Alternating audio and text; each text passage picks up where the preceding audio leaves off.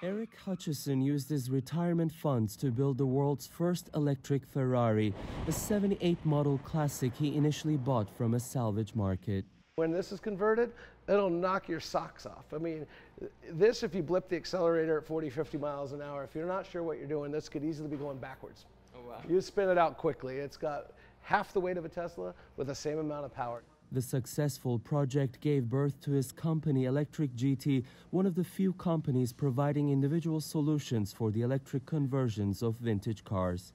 The first process, de-icing, removing all internal combustion engine requirements. Rip that gas tank out, rip that engine out. Then you say, how much power do I want, how much range do I want, and how much money do I want to spend? There's a big range of options to put into the vehicle, and you can make a, a what was an unreliable classic car, super reliable, daily drivable, and really fun to drive.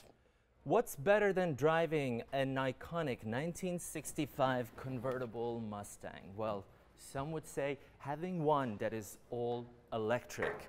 These kinds of conversions are now becoming increasingly popular among vintage car users who want to make their vehicle more reliable for daily use and even add more performance. Depending on the desired performance, range, and other factors, conversions can cost anywhere from $20,000 all the way up to $100,000. A team of engineers works on building new models for electric motor blocks that include the engine, the battery, and all other components that an electric vehicle needs. Aside from fitting it all in a small space, getting the right weight balance is also key.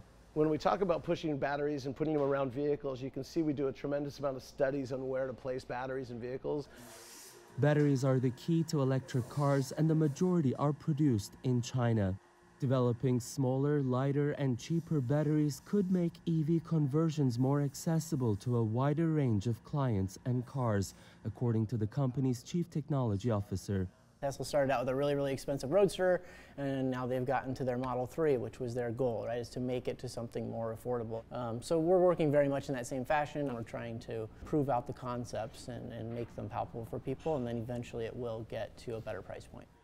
But until then, it's a luxury afforded by those who will pay big bucks to keep their vintage car on the road and more powerful than ever before especially in the aftermarket crowd. People want high horsepower numbers and fast acceleration. And electrics are really good at doing that. Um, a great byproduct is, of course, that it's better for the environment long term.